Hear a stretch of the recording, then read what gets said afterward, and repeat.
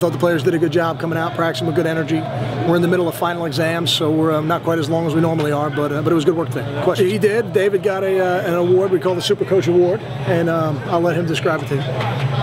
Guys who um, know the game mentally and, and who uh, sometimes when we're coached, we like to coach back a little bit.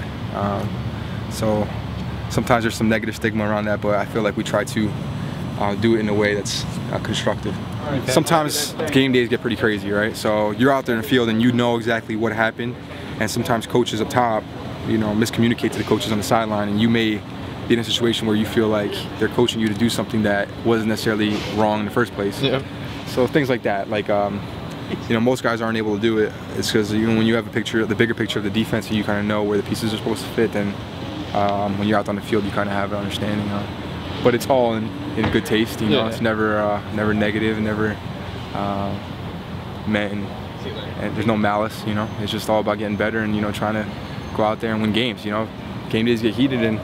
I think you know it's supposed to be that way. It's a lot of fun. I did not. I did not even know they were presenting it. Uh, but Coach Panagos told me. There was a little surprise at the end of practice. So uh, once he went up there and started talking about it, I kind of knew.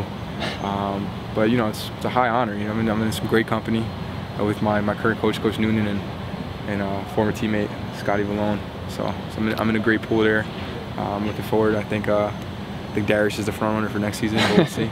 Well, you pulled in a lot of awards. So which, where's this one rank? This is uh, probably the most important award that I got. I think.